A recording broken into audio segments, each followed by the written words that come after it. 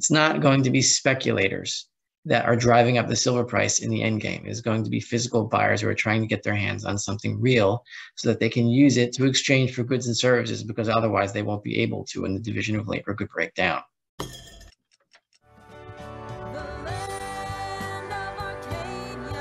Please, God, let this be it. Please. Hey guys, Rafi here from the Endgame Investor for this week's Silver Report for Arcadia Economics. And this week we're going to go into four different charts and we're going to do an analysis that is inspired by the Austrian School of Economics, by which I mean the Austrian School of Economics, the school that I subscribe to, sees economics as the study of human action rather than a series of equations like physics that can be used to predict the future with certainty or at least even attempted to do so. And so in that sense, you can't just use a chart to say, oh, a pattern exists. And because of that magical pattern, some magical thing is going to happen and this is going to happen next. Rather, if you can figure out a logical reason for a chart in terms of human action to appear the way it does, then it can be instructive. And so today I'm going to try to bring you into the human action, logical reasons for why certain charts look the way they do and why they tend to predict certain things not because a certain shape happens to be magical, but because it indicates a certain set of human emotions and decision making. And this approach, I think, is especially important when everything seems to be in collapse from stocks to Bitcoin and even to gold and silver right now. But these charts tell a different story. So let's begin. This video is brought to you by Fortuna Silver Mines which just released earnings yesterday. And one thing I want to point out about these earnings is their cost inflation outlook.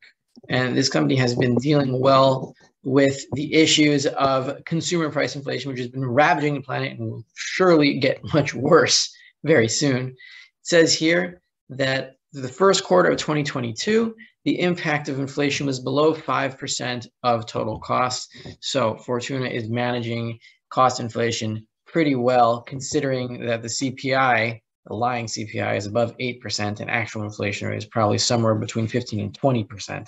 And why is that? At the Lindero mine where diesel is the largest cost component, the effect of a rising price was partially mitigated by fuel hedges the company has in place for approximately 55% of consumption in 2022. So their fuel hedges are working. Fortuna is unhedged against silver, but it is hedged against energy, and wisely so. So a question I have been getting a lot on the Endgame Investor and other people who are contacting me on Twitter, et cetera, et cetera, is where is the bottom? Now, I do not know the holdings of every human on the planet and their individual value scales and decision making processes. However, I do see this trapezoid forming in the open interest graphs on the silver trading floor. These lines I drew, this trapezoid, shows a declining price concurrent with rising open interest. Now, we've gone through open interest before on the silver report. What it means is how many contracts are open. So you've got to try to think logically about why open interest would be going up when price is going down. The reason open interest goes up is that buyers are opening more contracts and sellers are opening more contracts and not closing them out. And so the normal pattern is that when price rises, open interest rises with it because speculators are being attracted to the market as price increases and more contracts are open. And then as open interest falls, contracts are closed out, the price falls. That's how it normally goes.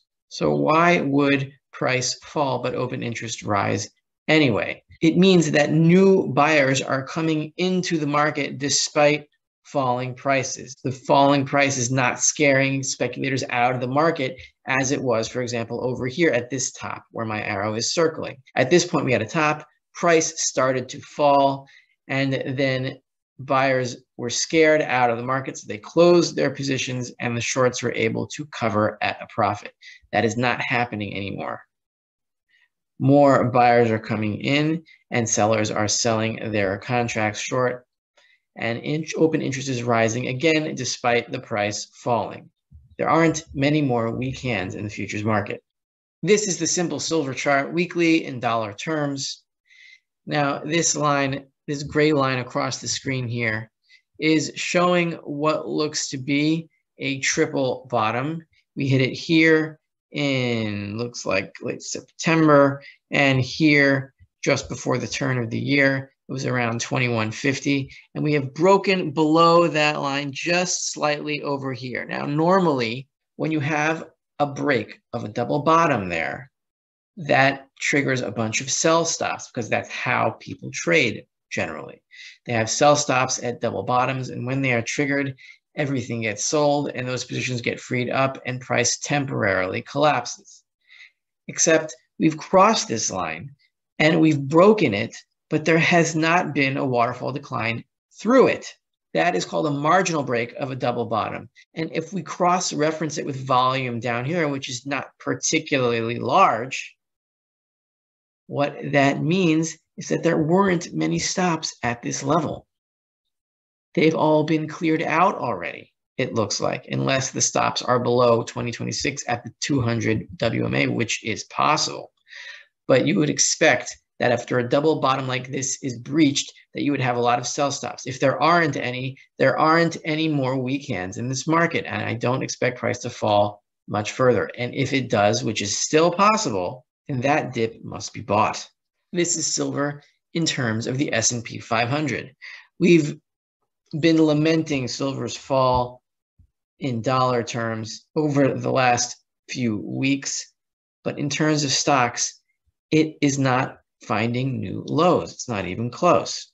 You have here, and again, a marginal break of a double bottom for silver in terms of stocks. That happened at the turn of the year and we're not close to it anymore, which means that as silver is falling, stocks are falling too. Everything is falling together because there seems to be the beginnings of another liquidity crisis. And when that happens, the Fed eventually has no choice but to print more dollars. And when that happens, silver explodes higher. And it's going to happen for the last time this time. This, I believe, is going to be the last liquidity crisis. Are we in it just yet? I cannot say for sure, but there is going to be one, and I believe it is going to be the last one before the world gives up on the dollar as a reserve currency and moves to gold and silver instead. Not because they prefer it, but because there is no choice. If dollars cannot buy anything, neither can any other currency, and therefore the only thing that functions as money is gold for the central banks and silver for the public. Now, besides the open interest divergence, there is another interesting divergence happening in SLV holdings. You see, there are two kinds of silver investors. There are those that use silver to accumulate dollars. Those are speculators in silver derivatives like SLV and silver futures. And there are those that use dollars to accumulate silver. And those are the physical buyers like us and Wall Street Silver and other real hard money activists. Those that use SLV to expose themselves to the silver price are using it to accumulate dollars. And if the holdings in SLV are falling, which they did over the last two days, a fall of 150 tons, this as the price is moving upward slightly from bottom over here. And that means that interest in SLV is falling because in order to keep it in line with the rising silver price over here, they would have to liquidate some shares and that means that demand for SLV is falling versus physical coins whose premiums are now, I think, 23% for junk, which is another post silver squeeze record. In the end game, as silver is going to rise, I don't believe we're going to see runs in the silver derivatives like SLV and PSLV even, and all those other ones interest in those ETFs as trading vehicles is going to wane, and we're going to start to see redemptions in those funds, whether it be PSLV, SLV, SLVP, or whatever fund is out there, silver futures. These are all silver derivatives. We're going to start to see redemptions in these for people going to the physical markets. It's not going to be speculators that are driving up the silver price in the end game. Is going to be physical buyers who are trying to get their hands on something real so that they can use it to exchange for goods and services because otherwise they won't be able to when the division of labor could break down. So I asked the question, will SLV and PSLV and all the other silver ETFs, will they rise as physical silver price rises? Probably yes. I'm not denying that. However, I'm saying that the interest in these ETFs will wane as the physical markets will take over. It happens over and over and over in history. Finance is not some magical pattern, reading tea leaves, sort of superstitious religion. It is a pattern of human behavior that repeats itself as finance is supposed to represent real resources and goods and services on the planet. And when you inflate the finances to lie about how much real assets are actually available on planet Earth, when the public figures out that the numbers are all fudged, everything falls together. There is nothing new under the sun. And eventually, humanity is going to have to come to terms with that. And for some, it will be very painful.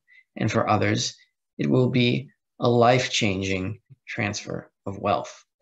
The clock is ticking for the Fed to pivot one last time, and they will. Our job is to hang on until they do. This is Rafi of the Endgame Investor coming at you with this week's Silver Report for Arcadia Economics, and I'll see you next week.